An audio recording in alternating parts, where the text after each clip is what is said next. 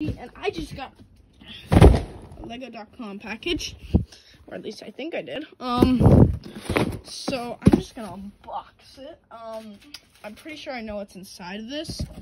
So I didn't expect it to come this early, but no complaints, of course. No complaints.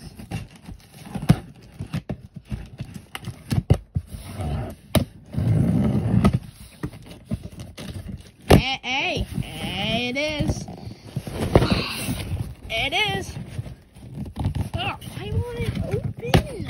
This came like four days early.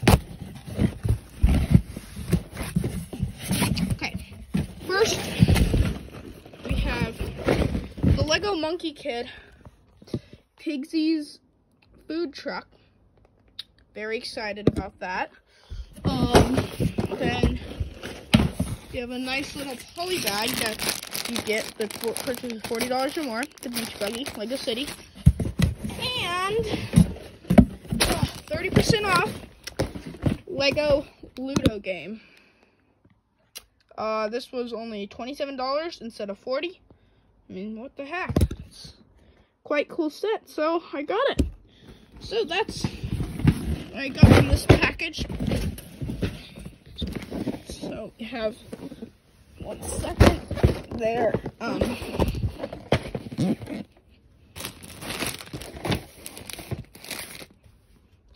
we have the Monkie Kid, the Ludo, and Good Old City. Thanks for watching.